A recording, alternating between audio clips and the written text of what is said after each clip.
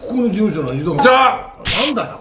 いきなり。じゃあ！よろしくお願いします。いやもういつもすいませんね影尾何さん。をしちゃいます。いやいやなんかほっとしますよ影尾さんに来てくれると。う。まあ豊かに言われたら断れないよ。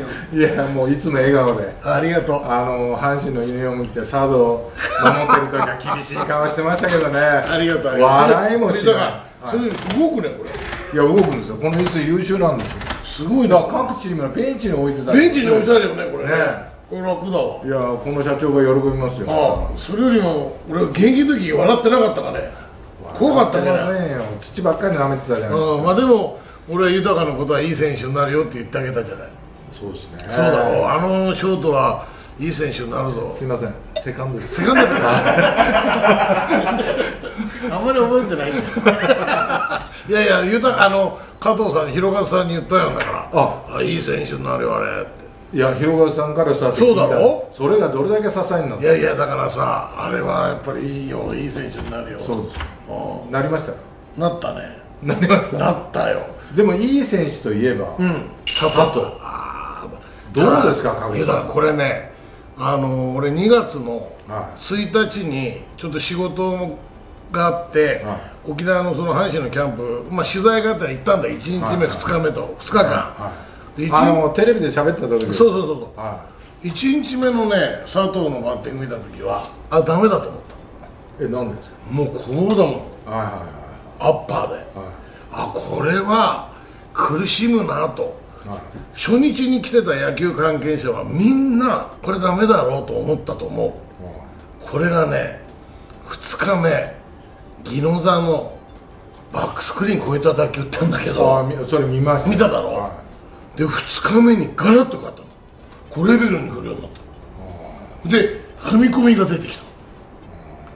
俺これ見た時に普通その、まあ、大学生でも高校生でもいいいバッターが入ってくる。い影尾さん、あの無所に入ってるわけじゃないですこっちカメラなんだ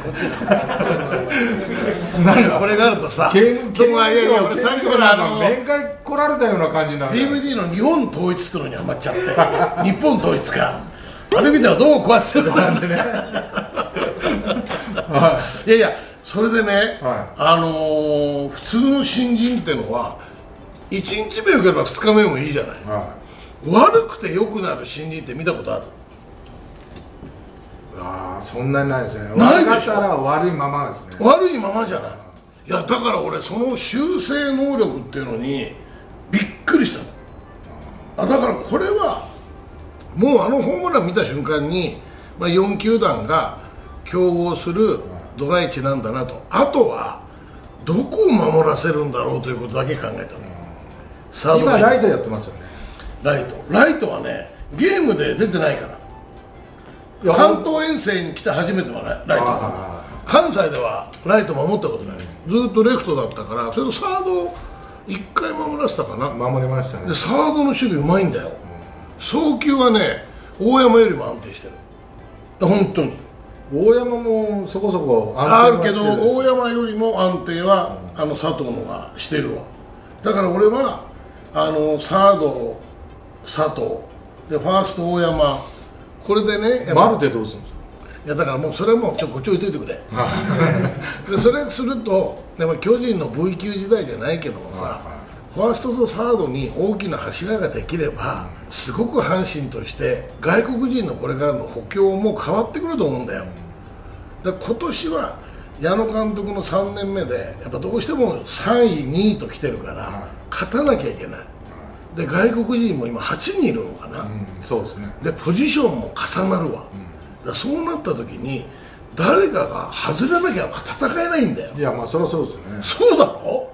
いやそれはもう宝の持ち腐れって言われても仕方ない。仕方ない。で豊が監督だったらだよ、は外国人のバランスどうする？5人登録できてベンチ入り4人。野手2人入れられるか？今の野手を考えると、うん。まあピッチャー3人はいるでしょうね。いるだろいるいります。それなぜかというとねオープン戦であの岩貞と岩崎がほとんど投げてなかったんだよ、なんかあったのかなと思ったんだけども周りのマスコミも一切わからない。あんまり取材が今できないから。それがこの間のね3月の15かな16日ぐらいに名古屋で2軍戦があったんだよ。それにあの左2枚が投げたって言うんだけども調整が遅れてるのは間違いないね。そうなると外国人のピッチャーやっぱ3枚いるでしょ。いやそれはいりますよね。いるでしょ、はい。ほんと野手1人になった時に、マルテかサンズはどっちか外れるわけだよ。でもアルカンタラとうん。あロロハスが来るんだよ。これいいじゃないですか。いやいいらしいんだよ。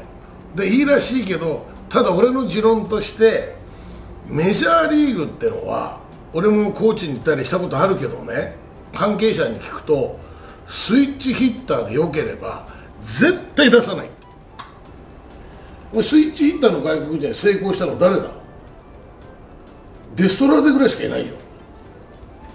あのだいたか？巨人にいたでしょ。あホワイト。ホワイト。あホワイトはまだ打った。でもホワイトにしても成功したといや成功したけどそこまでのインパクトないでしょ、まあインパクトはないです。うん、だからあの韓国ではすごくいや韓国の数字はすごいですよ。すごいよね。で木戸がね何回か見たことあるらしいの、はでそこそこ動動けるらしいのよ、でスイッチヒッターということを考えればまあ多分開幕が間に合わないにしてもね1か月ぐらい調整すればロハスは使わなきゃいけないじゃないいや絶対そうですよ。絶対使うでしょ、で守るのは外野だよ。はい。レフトですよ。レフトでしょ、だから今佐藤をライトにしてるんだと思うんだけどそうするとサンズとマルテがいなくなるんだぜ。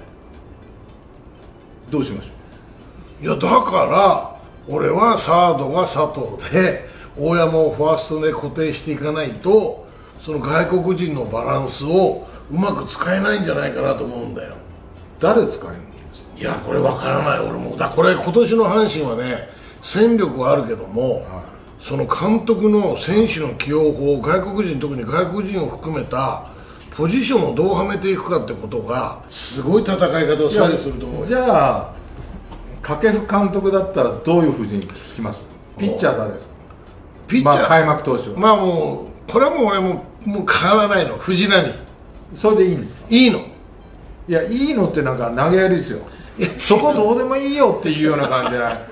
じゃなくて。違うの。やっぱり藤浪に責任を感じてもらいたいわああそうはいいことですよね。けねあのはい。阪神タイガースも含めて日本のプロ野球をお前は引っ張っていかなければいけないピッチャーなんだよと。まずそういうメッセージを藤浪に感じてもらいたい。それメッセージっていうのは掛布さんが掛布さんでも開幕投手に使ったということですそうそうそうそう。あなるほどね。そういうことね。でお前を一年お前と心中するからとその覚悟を持ってやっていこうってまず言う。これは藤浪をやらせるために、で身を取るのは西だ、西を貯金させたいわけ。だから 10 10勝勝に当たらないでね。でこれはねあの岡田が言ってたの、オリックスの監督時代もやっぱり西っていうのはそんなに開幕投手だとかエース云々ってそんなこだわるタイプじゃないんだって、だから金子ってピッチャーがいたでしょ、はで2番手3番手でもいいらしいん。だよ、それで彼に13勝3敗とか、13勝まあ、4敗貯金を作ると貯金を作ってほしいと、それで回すことによってある程度あの外国人が全部揃うまで5割ぐらいで戦える数字って戦い方見えてくんじゃねえかなと、それでロハスが来た時にじゃああの慌てないように外国人枠はその野手は1人にしとくってことだよ、なるほどね。でレフトによければレフトにはめる。でもしも大山と佐藤が苦しんだ時にサンズとマルテっていうのを登録しといてちょっと使う入れてあげるという。順番に言っていいですか？順番。いきなりピッチャーから外野に飛んだんで。飛んだなあごめんごめん。キャッチャーだね。キャッチャーそれは梅野だよ。いや梅ちゃん。ええ。これはもう日本代表する？キャッチャーでしょ？まあまあそうですね。そうでしょ、はいはこれか今年彼 FA が勝ってるんだよね。いそうですね。まあやるでしょうね。やる。だからただね矢野監督のね考え方っていうのはキャッチャーを固定するという野球をしようというタイプの監督じゃないんだよね。そうですね。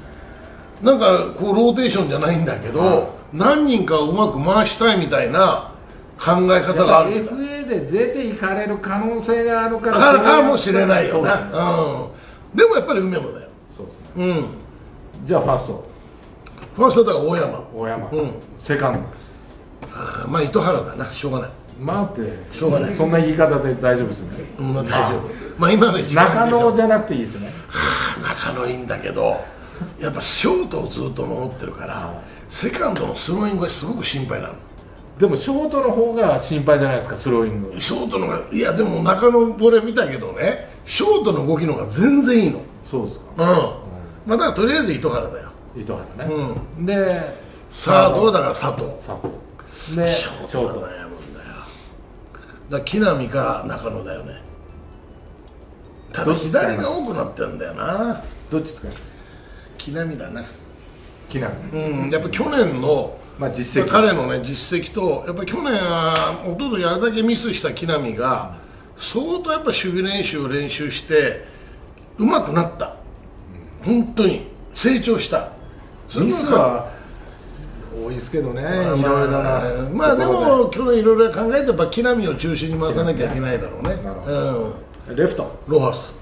か？だからサンズ。だよな、ロハスが来る前はサンズ。サンズね、うん。はい。センター近本じゃない。は本当はライトなんだよ。だこれはねもう左がすごく多くなってしまうんだけどキャンプだとかオープン戦なんかの頑張りを見た時に矢野監督もキャンプの MVP は高山って言ってたんだよ。だから俺は高山を腐らせたくないんだよね。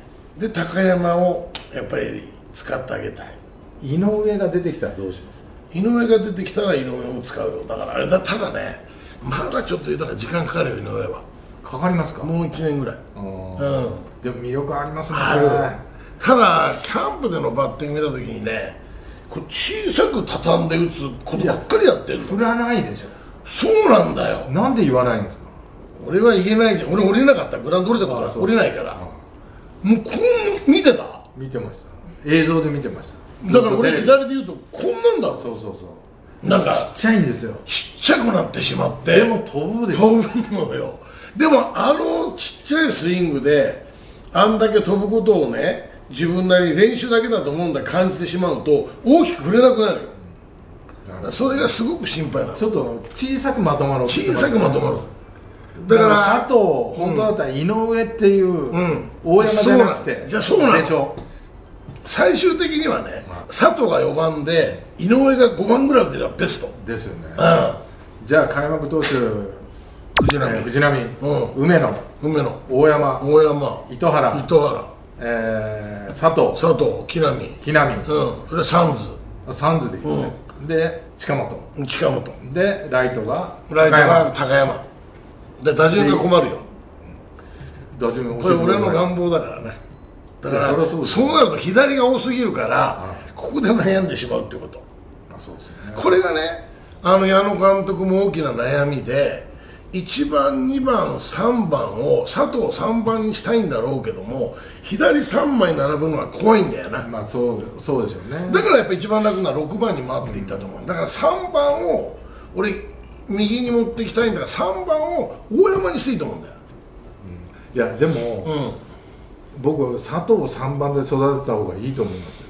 あいや魅力あるよ。必ず回ってくる打順そうそうそう。いや初回からね。だから俺もうん3番の佐藤っていうのは足もあるしね結構。すね。すごい魅力あるんだけどもまずは6番である程度の数数字という貯金を持って3番に上げていってあげた方が4番の小山がまだ信用できないだろう。これ4番に俺がいればだよ3番でいいよ。なんか丸く丸く収まりま丸く収まったんだろやっぱりさ あのこれ変なこと言うけどバースがね、はい。あのいつもシーズン終わった後にありがとうって俺にお礼に来るわけ、お前が後ろ打ってくれたから俺は三冠を取れたと、まあそうでしょう、うん、お前がもしも俺の前に打ったらタイトルは全部お前が持っていくだろうと、そういうやっぱバースデーを気を使ってくれるんだよ、ことい今なんですここ。そうそうそう回し回してますよ。回してましたで佐藤が3番で活躍するためにはやっぱり4番にもっと安定感のあるバッターがいないとちょっときついと思うんだよね。でも佐藤が打ち出したら、7番だと7番に全部勝負が回ってそうなんだよそうなんだよ。だから3番の方がいいなまあだからそおっしゃる通り。でも左3枚並べるリスクと佐藤の6番も歩かされるリスク考えれば3番のが回るか。まああると思いますよ。回るな。はい。はい。なんだよ。急に。出た